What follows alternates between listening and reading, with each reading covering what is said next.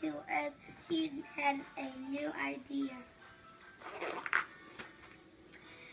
Her cannon show had been a blast, but this plan was to act. They'd make their fairy fortunes firing fairies into space. And so the sisters got to work. They never seemed to stop.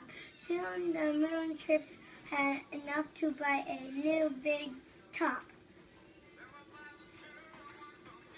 With a brand new sparkly cannon, gently the lights aglow.